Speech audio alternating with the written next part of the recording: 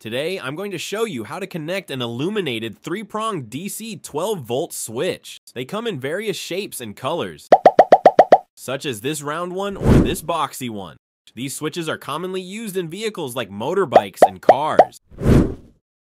Let's start by identifying the prongs. If you look closely, you'll notice that one of the prongs has a different color, usually copper or brass, while the other two are standard metal. To make it easier to follow, let's give them names. The first prong is the copper or brass colored one. The second prong is the middle prong, is one of the standard metal prongs. The third prong is also standard metal. To make wiring easier, I'm using spade connectors. These connectors allow for a secure and professional connection. If you don't have spade connectors, you can simply twist the wires together like this.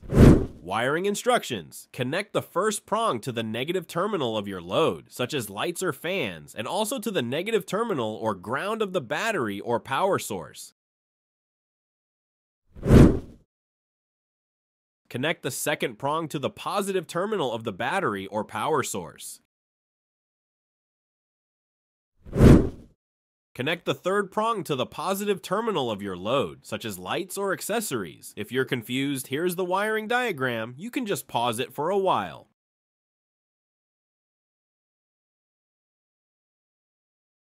Let me explain the connections one more time. The first prong connects to the negative terminal of both the load and the battery or power source. The second prong connects to the positive terminal of the battery or power source. The third prong connects to the positive terminal of the load, such as a light, fan, or other accessory. Now let's test the setup. Turn on the switch and check if the load powers up. And there you have it. The lights is on as well as the accessory lights. Your illuminated three-pronged rocker switch is now wired and working perfectly. This setup is versatile and can be used for many applications in vehicles or other 12-volt systems.